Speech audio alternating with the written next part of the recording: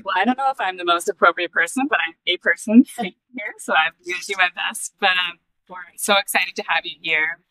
Uh, as you probably know from Wahleah Johns is in the U.S. Department of Energy, where she directs the Office of Indian Energy Policy Program. She's responsible for advancing that office's mission to maximize the development and deployment of energy solutions to the benefit of the uh, is a member of the Navajo tribe, Arizona. She got involved in energy work through water. Initially, I read one of her interviews, um, and specifically through coal mining operations that were contaminating her community's groundwater, while little of the energy benefits flowed to the tribe.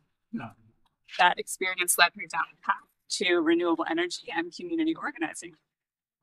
To that end, she founded Native Renewables, a nonprofit that builds renewable energy and tribal capacity while addressing energy access issues. Her work with the Black Mesa Water Coalition and Navajo Green Economy Coalition has led to groundbreaking legislative victories for groundwater protection, green jobs, and environmental justice. In 2019, she was awarded the Nathan Cummings Foundation Fellowship.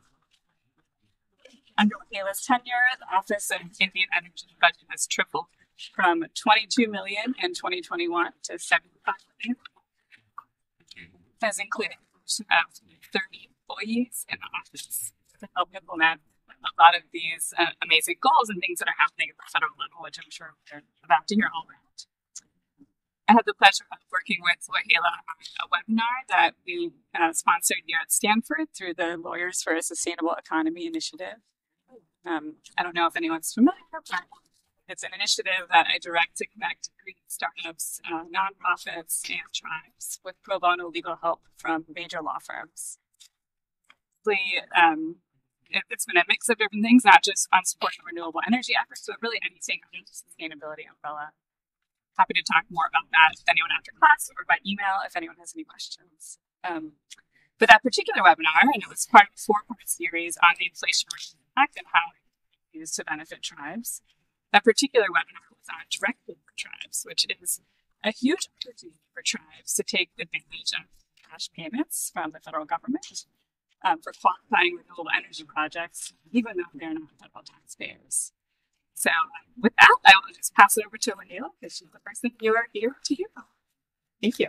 Um, so ya te do hehe she Wahleah Johns inishia. She hin shlent do ashe bashes chin. Zitani da che do kia ani da. Um, say my clans if I have any Dene relatives. Any Dene relatives in there? All right. So my first clan is Salt, and I'm born for Red Bottom people. Um, and I'm from northeastern Arizona, um, member of the Navajo Nation. Really excited to be here. Um, I think my first presentation here at the campus, um, and just want to say thank you so much, all, um, all the faculty and staff for inviting me to speak. A um, been based out of DC and recently um, moved my family uh, back to the East Bay four weeks ago.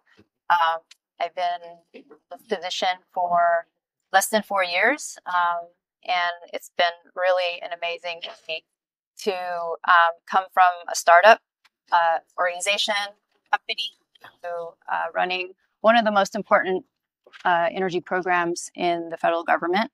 Um, I get to work every single day with 574 federally recognized tribes that each have a unique um, agreement with the federal government uh, through treaties, through executive orders. And, you know, I, I was mostly focused in the Southwest because we are addressing a lot of the issues in our communities where um, a lot of families don't have access to electricity. And um, that really sparked my interest in um, this work. And also, like,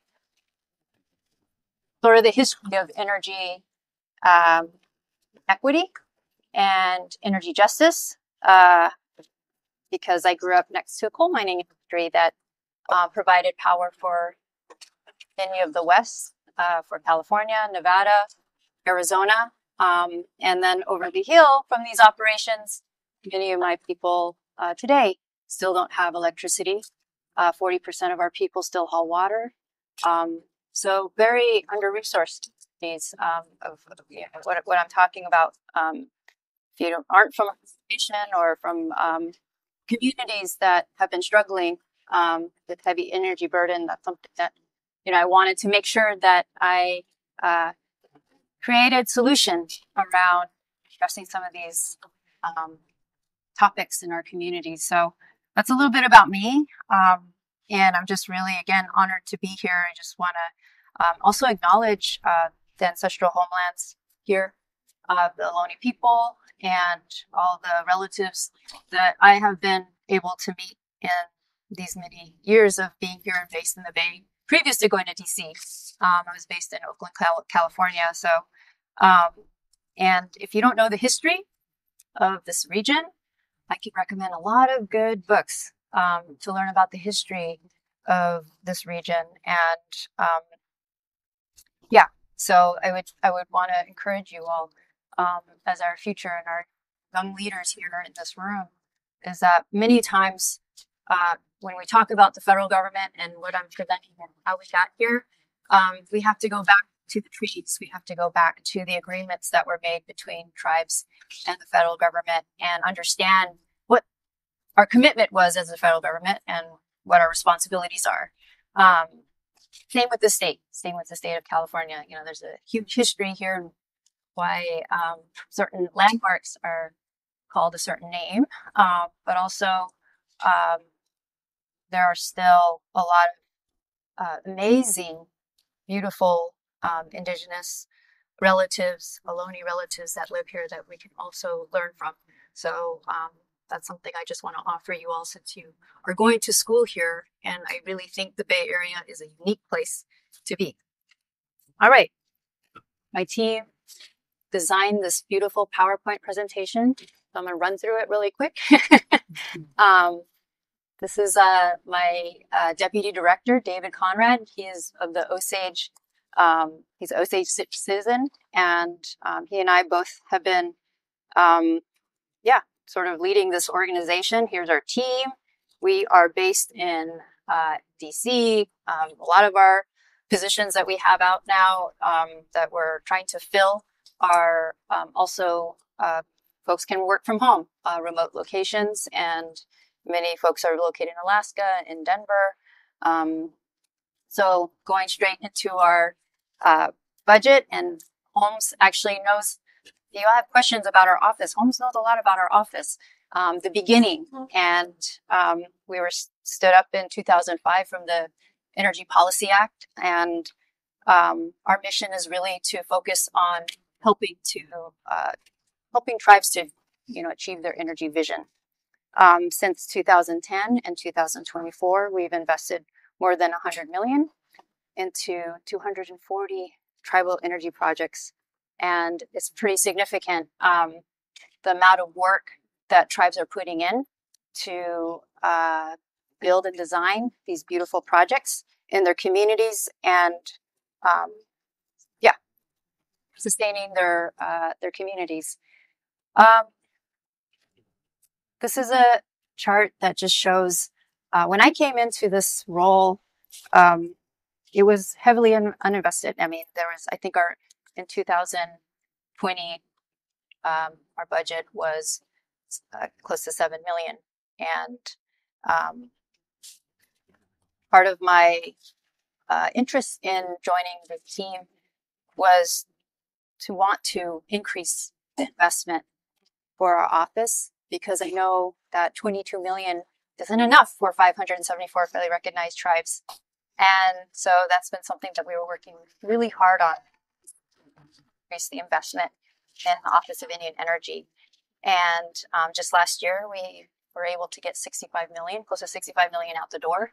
Um, and it's exciting. It's exciting when you are able to have um, funding to provide to tribal projects um, across the country, and the need is there. Um, there's huge gaps in um, uh, that tribes have in like capacity Um, they need people, they need expertise um, to be able to design these really complicated energy systems for their geographic region. Many um, of our investments go to Alaska, where um, tribes there and um, uh, native communities are, you know, pay close to a dollar per kilowatt, and so um, high energy burden in Indian country. Um, so this is total of how we how much we've been generating 63 million watts generation from 2010 and 2024, um, which is pretty significant. And we've been seeing a huge trend in, the country, which is I always say tribes are leading the way in clean energy. Um, prior to the IRA, prior to um, the bipartisan infrastructure law, um, which is the biggest clean energy investment in this country. It's amazing. It's gonna, uh, it's, it's doing so much. I'm so pumped up about it and all the benefits. And, um, but prior to that, uh, our small investment has been um, going towards mostly clean energy projects, renewable energy projects um, for rural remote communities and um, a combination of wind, battery storage, and uh, you know, tribes are being really creative in the way that they design their systems. You see a diversity of technology that's um, they're applying in their communities, and it's really to sustain their communities in case of, um, yeah, wildfires, in case of flooding, um, more of preparing themselves to uh, weather the impacts of climate change. So, um, really, really cool projects that I've been able to witness in these last four years. Um, and then also just the capacity that it's building. So many benefits. Um, so we um, came out with a report. Do you all want to look at this report? We just came out with it last year. Um, they Congress wanted us to look at energy access and power reliability in Indian country, and um, what we found is that about, there are about 17,000 tribal homes, Native American homes that don't have access to electricity, um, and then also just the heavy energy burden um, that tribes face day to day, and um, yeah, it's 28 percent much higher than the average American.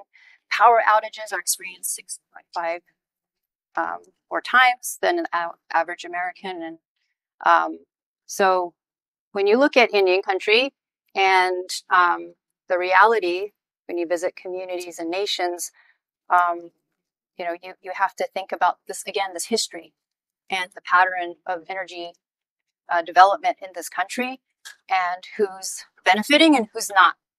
And so part of this administration's commitment is to um, make sure we elevate the communities that have been left behind, the communities that um, disadvantaged communities, under resourced communities, prioritize them in making sure we are um, achieving um, success and that they are able to sustain, have good, sustainable power.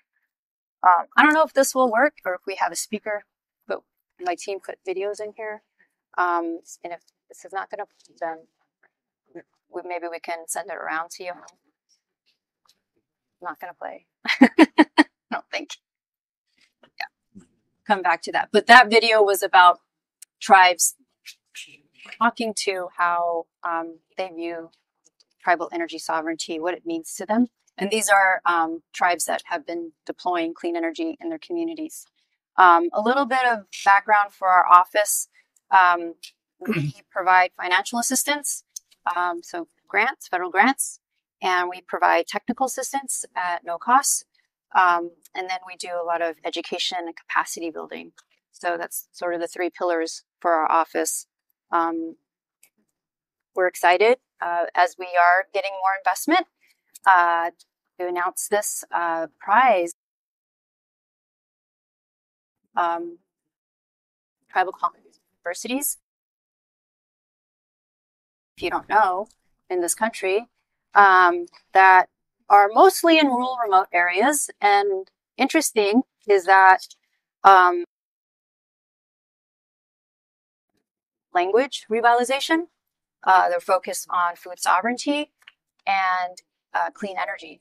Um, and so we came out with a prize recently, um, the nexus of energy and food sovereignty.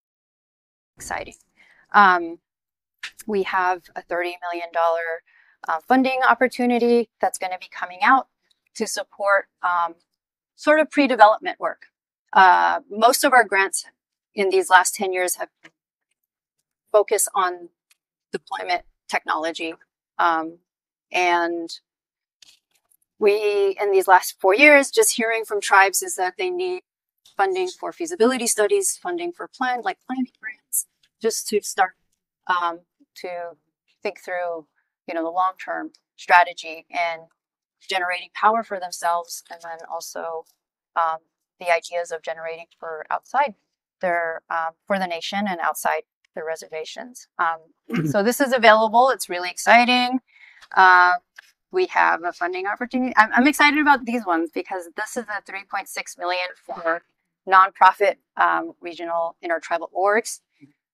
Um, there are over 30 intertribal organizations throughout uh, country that are um, made up most of the, the unique uh, role they play is that most of these intertribal organizations are made up of tribal leaders.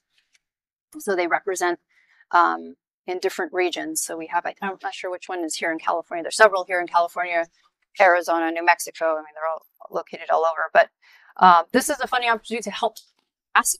So at, at that level. And so this is um, really exciting. We also have a new fellowship program that we have been, um, and these are all new initiatives uh, that we've been, you know, sparking within our uh, organization to one build capacity, but also um, uh, to engage more of um, young people and people who are um, learning about energy or have an interest in energy.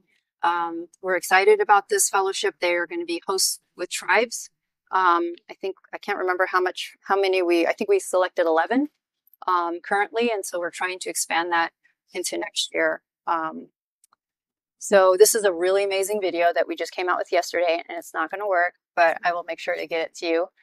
Um, yeah.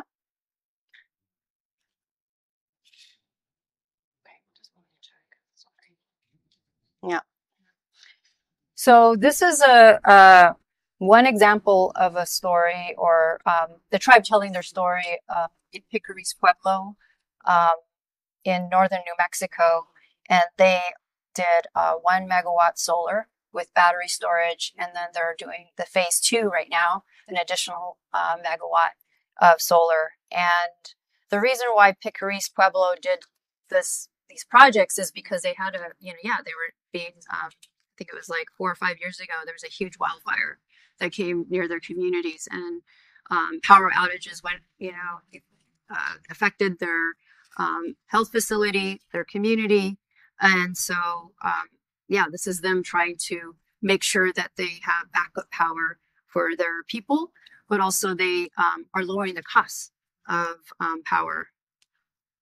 So if you aren't aware this is our annual program review that we host um, every year and if you want to learn more about all of the projects we've supported in the um, past 10 years, many people come and talk about their projects from Alaska, um, all over the country, and it's a week long, uh, November 18th to the 22nd. We're on social media, you can follow us. We have an amazing newsletter with all the funding opportunities. Um, it's all of our information. I think that's the end of this presentation for my team. Around to my um but i i mean i think the big piece is that um i am really excited about is um the energy justice aspect of um how DOE is you know weaving that into um, the values of how we go about making sure that we are um, doing well for tribes, uh, doing better in our engagement, doing better in consultation practice. Um, when energy projects are you know, being proposed or there are funding opportunities that might have impact on tribal lands. Um, So we've been pushing for many things to and building our internal capacity um, of knowing, but also the expertise that is um, important in the way that we engage with tribes. Um, huge opportunity in, in in the U.S. in partnerships. That's something that we've been really pushing. Um, industry is a with all these tax uh, credits, and um, there's a lot of benefits if there's partnerships. And um, yeah, it just everything as far as like making sure that um, you know as projects continue to move along, that we're doing it in a way that is um, giving back and that tribes have real equity ownership. Um, yeah, I mean these are all like the values that we um, from this administration have been pushing. I don't know if any of you have heard Justice 40, but that's a big one that um, DOE has embraced. We require uh, all applications to fill out. Um, part of the application is um, from whoever the applicant is, is that we require 20% of the scoring of the application. They they uh, goes to community benefits. So demonstrating that how they are going to give back to the community that they're going to be doing the project in. Um, yeah. So when it comes to job creation, revenue generation, um, co-ownership, I mean, these are just examples. Um, so that's been an area I think more DOE wide. Uh, the pieces that our office have been taking on is also around um, making sure that federal government are prioritizing the procurement of uh, clean electricity from tribes and and products, clean energy products. So we call that the Indian Energy Purchase Preference, um, and that's been a huge uh, milestone. We just um, it went dormant. I think it started in 2005. I think it was like 20 years. It just hasn't been used this preference, and um, for the first time this year, uh, there was a, a GSA was able to utilize purchase preference because of the amazing team that we're building within Office Energy, and um, but also other offices that you know love to tackle big, you know, complicated uh, policy and actually try to get it um, implemented. And I think that this is something that is um, significant for our office. The other one is that we were able to, um, the loan program office has a tribal energy financing program. They have up to 20 billion of loan authority um, for clean energy projects or um, and they just i think would say two weeks ago announced their first um, deal they got out the door with um, one of the tribes here in california um, and it's the Viejas tribe and and this is a beautiful partnership where you're seeing tribes supporting tribes the tribe uh, uh, the band of uh, I think like uh, Chippewa, um, partnered. They have an LLC that partnered with um, Tribe here in Southern California to do um, solar and battery storage. So it's it's really amazing um, when you see a federal government and Congress uh, create language uh, that and provisions that help um, lessen the burden and create more accessibility uh, for tribes and disadvantaged communities. So many things can happen. Um, and and that's what I'm witnessing in this role. That's what I'm witnessing. Um, it's becoming more trendy, and it's become it's building, I think, uh, a different way of doing energy deployment. Um, and that's exactly what I um, have always wanted uh, I had, you know, we have a company that uh, was over the hill from us, mm-hmm. just, you know, exporting power, um, coal and water, and no benefits in the community. Um, and so we want to flip that, right? And we want to make sure that as we are thinking about building our energy systems, that is done in a way that is um, equitable to everybody but I think the other thing is that um, there's a good history here that isn't pretty, but it's, important for us to understand. Um, you know, the why do we have 20,000 homes that don't have electricity is because tribes were intentionally left out in the 1923 um, Electrification Act. They weren't considered um, in the way that the design transmission build out in the West.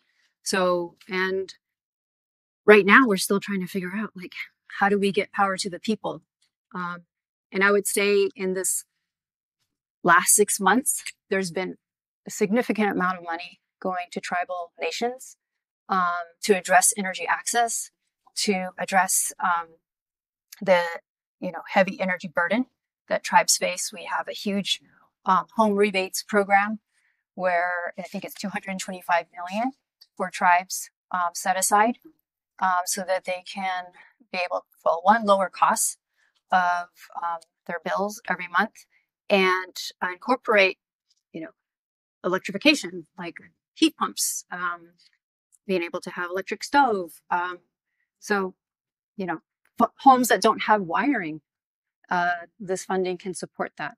So I'm really excited about uh, one, just the commitment that this administration has had on uh, sort of environmental justice communities, tribes, um, and you know, tasking us to really figure out how to come up with solutions. And um, yeah, it's been really a beautiful experience, and I, think um, I'm getting close to the end of my tenure here, and um, really, I think that I would love to see um, so much grow and, whatever happens, you know, in these next few weeks. But um, we are on to something.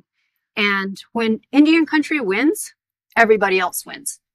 And that's been something I see over and over.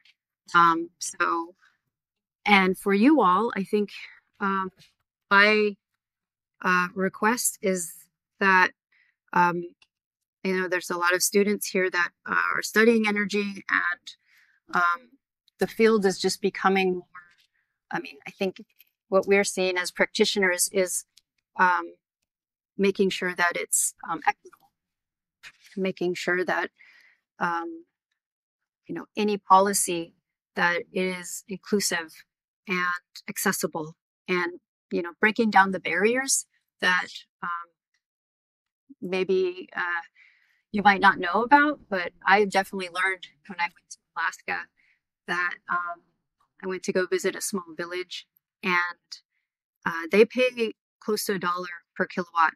Um, and I think uh, sitting down with some of the tribal administrators who wear five hats and have very little connectivity coming into their tribal office, and it's a small room, really, and um, you know how it looks like behind their desk, right behind their desktop or their computer that they're sitting at totally different than in DC. And I think those are the things that, you know, we have to really um, understand is like we got to go to these communities, got to learn and understand, you know, why is it these applications challenging for tribes or disadvantaged communities? Um, yeah, what are the, what is the communication gap? And all of this is around like the policy piece too that could be designed in a way that really benefits um, the people. So I think I'm close to being done now. But that's what I want to offer to you all. Um, I appreciate uh, time that you've given us. So thank you so much.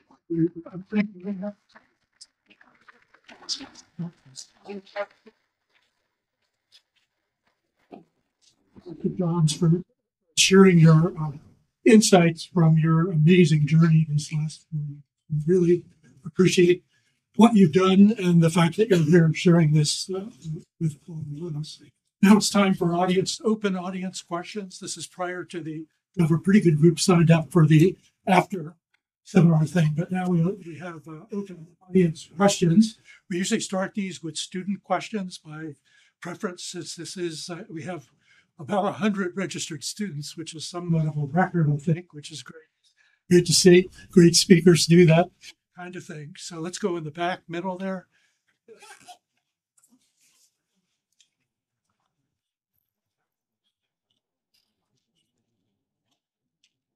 Hi. Well, thank you so much for the really informational.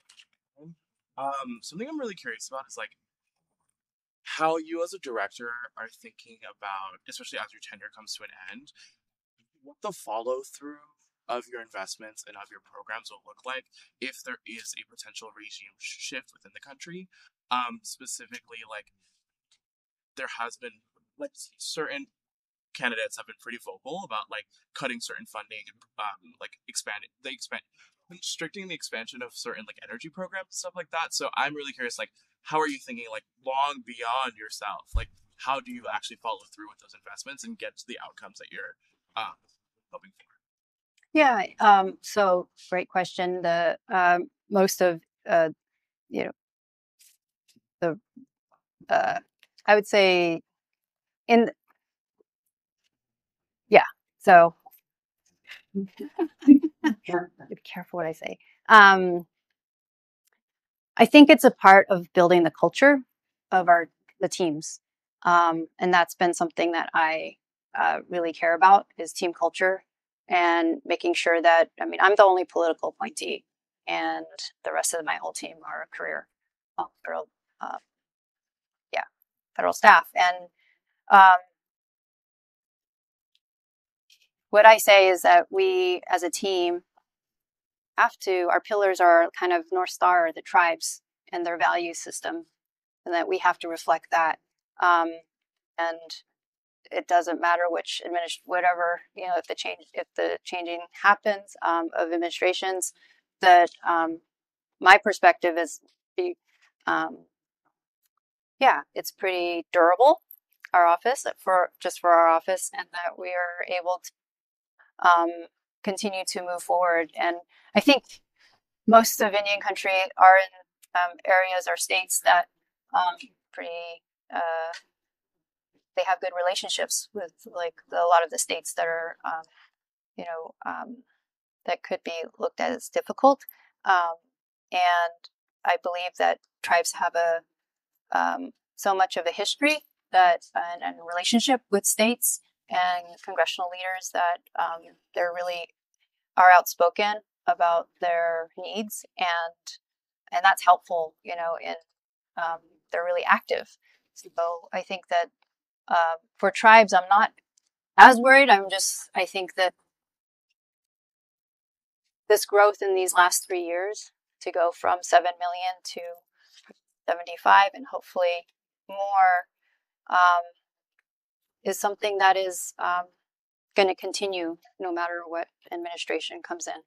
So, I mean, it would be weird if they cut the budget back down to 7 million or something. You know, I just, it's hard for me to see that happening, but yeah. Yeah.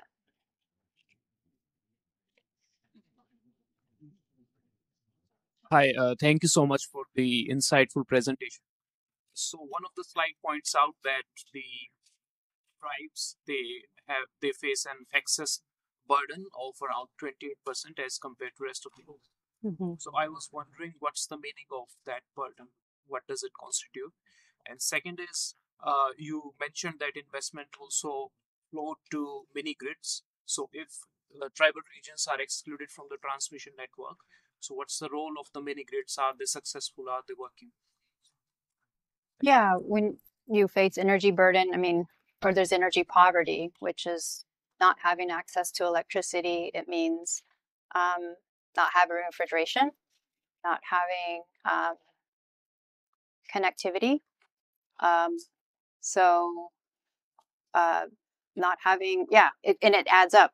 You know, if you don't have a refrigerator in the summer, you go and use ice chests and you buy more ice, right? And depending on your the temperature of your community, um, it adds up. Like I, I, just I see this, and then also the reliance on diesel or um, gasoline generators.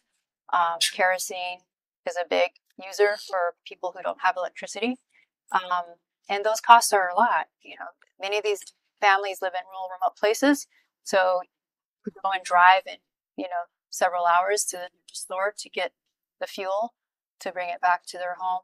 It, it just all adds up. So um, it's also a health impact. And um, when you burn, you know, fuels, you know, generators night and day. Um, So, and these are folks that already have limited income, and and I think that's the part that I I feel like, you know, even with a seeing a battery storage and um, solar, the offset is just like significant when it comes to um, the pollution that is being generated by a gasoline generator or like um, yeah the uh, cost is a big one. Um, i think that you know uh, for now our office is um, going to go deeper in doing we're doing in the process of doing a study or collecting data on where specifically are these homes and what nations um, in the country that are facing these issues. And um, I think there's over 10 tribes that have heavy um, energy poverty in their communities. And uh, yeah, and uh, the isolating regions, um, I think, bear the brunt of um, the high costs and also the dependence on diesel fuel. Um, so these rural remote areas, I love that um, inflation as a bipartisan infrastructure law. They had 10 billion set aside for uh, rural remote communities. And this year, I can't remember what the number is, but it's probably well over 300 million that have gone to um, Native communities, tribes in supporting, um, helping to alleviate um, you know this energy burden and with and they're all proposing these amazing projects all clean energy projects in from alaska to here in the lower 48 yeah lots of success and that. So it's era era is it's like i call it rural remote but i, I forgot the acronym. It's under the office of clean energy demonstrations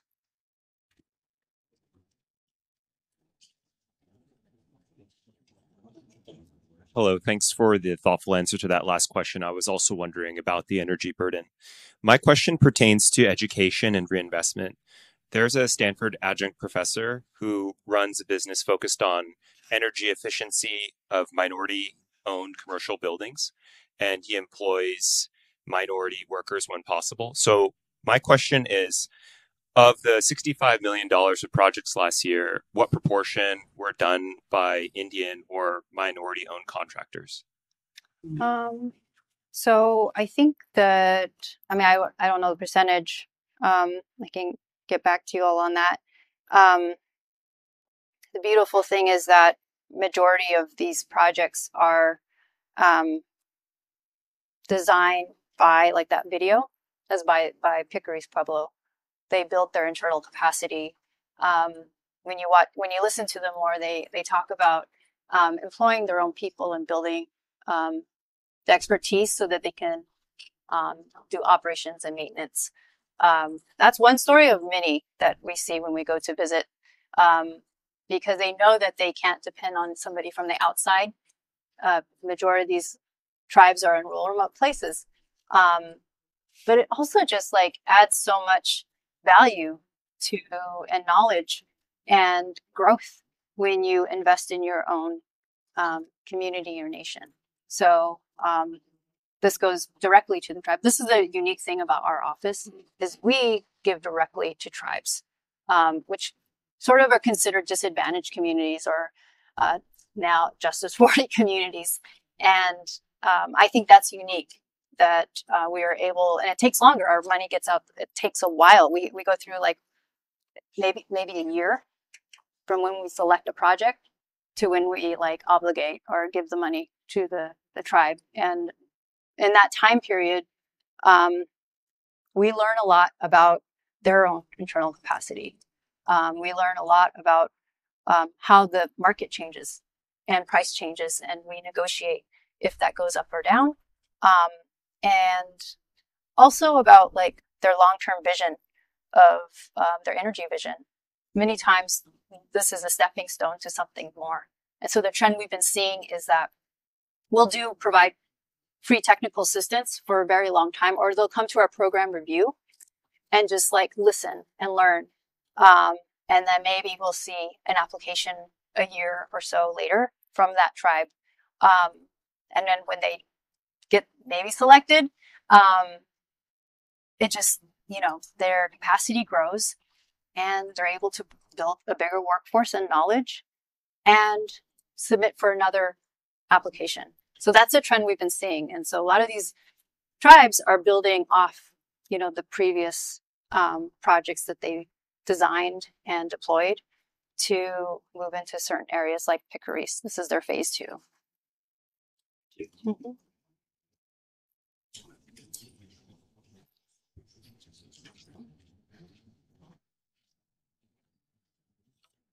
Dios My name is Antonio Vega. I'm from the Pascua-Yaqui tribe. Oh, okay. Just to preface, like, you were like, your work is super amazing and also inspiring for like Native youth like me.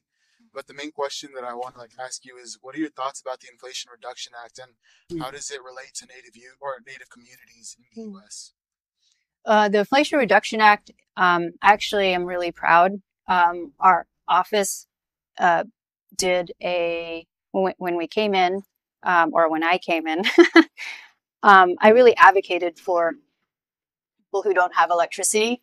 Um, so I'm like, Department of Energy, this is our this, this, is our jam. We should be doing this, like providing power to the people, and um, did lots of presentations to Congress around um, trying to raise two billion dollars to solve energy access, um, and you know that went through a series of bills um, it was, uh, I think I can't remember the Build Back Better bill was like, I think it was the marking was at 500 million, which was like pretty awesome. Um, I thought it was awesome, and um, and then it got lowered to 300 million to another bill. and then uh, when the Inflation Reduction Act, as I don't know if you all remember, but it was sort of like it just happened, like within a week or something. It just like was just surprise bill. Um, and so when it was uh, ready for viewing, we went through it and just like looked up all tribal, you know, allocations. And the last page, seriously, the last page of the Inflation Reduction Act was 150 million, 55 million for um, unelectrified homes or um, uh, energy access. And that's something that we pushed early on. Like when we, when I first came in, it's not, you know, 1 billion or 2 billion, but at least, you know, pushing for these things are really important. And I think for you um, and your people, it's um, important to use your voice and um, also your knowledge to be able to um, advocate for um, your communities because you bring a perspective that is unique that folks that are on the other side or that are writing a lot of the um, the language in the bills that you know you have to paint that picture of what is it like for a family that gets electricity for the first time and the benefits right? And um, but also that i think for me growing up in an environmental justice community is just telling the story of um, you know how important it is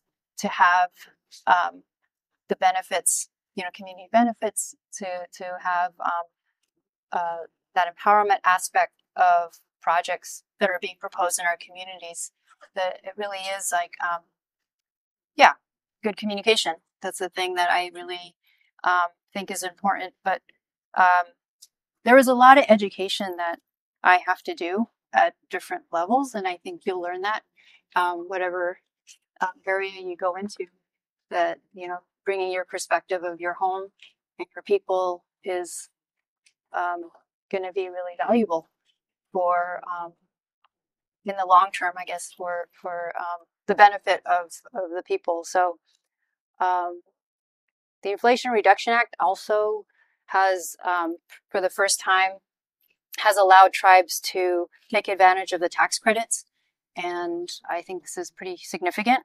The, and to nonprofits and um, to some state governments, right? I think, and but the tribal governments was one that I think was really hard for tribes to be uh, to participate in the um, clean energy deployment in this country.